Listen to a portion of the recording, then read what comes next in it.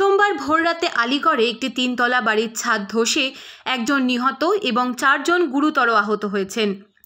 আহতদের অবস্থা স্থিতিশীল বলে জানা গেছে। জেলাশাসক ইন্দ্রবীর সিং জানিয়েছেন, চারটে বুলডোজার, ছটা অ্যাম্বুলেন্স, চিকিৎসক, পুলিশ ও দমকলের একটি দল ঘটনাস্থলে পৌঁছেছে। ডিএম ইন্দ্রবীর সিং বলেন, দুর্বল বাড়ির ভেতরে একটি গোডাউন ছিল। সেখানে কোনো পরিবার বসবাস করে না। তথ্য অনুযায়ী ঘটনাটি ঘটার সময় চারজন লোক কিছু জিনিসপত্র নিয়ে যেতে ভেতরে গিয়েছিলেন।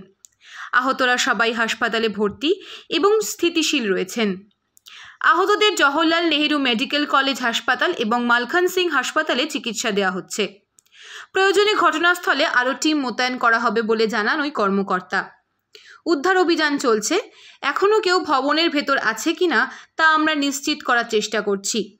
বিল্ডিংটি একটি কারখানার জন্য একটি গোডাউন হিসাবে ব্যবহৃত হতো এবং রাতের কারণে খুব কম লোক সেখানে ছিল, কর্মকর্তারা জানিয়েছেন। কর্মকর্তারা এও বলেছেন যে, বৃষ্টি এবং জলাবদ্ধতার কারণে বাড়িটির কাঠামো দুর্বল হয়ে পড়েছে, যা ইতিমধ্যেই জরাজীর্ণ অবস্থায় ছিল।